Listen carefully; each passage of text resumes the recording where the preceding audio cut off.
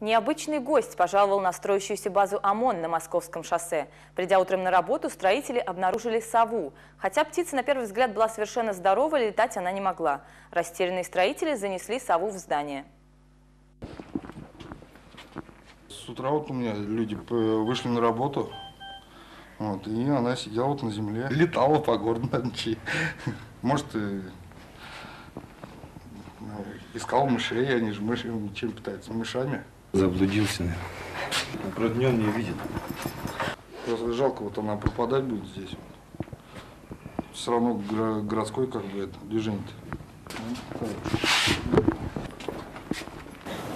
Полетишь?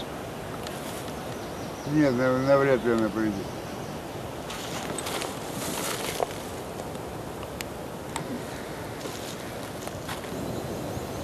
Пошли ее на этот разломник, вот на низ, чтобы она не на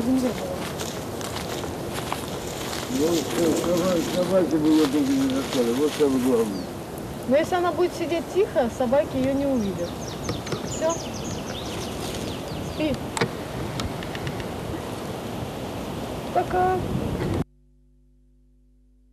Кстати, совы в черте города явление нередкое. В поисках мышей и других грызунов своей основной пищи птицы часто отправляются в город за добычей, где у них меньше конкурентов.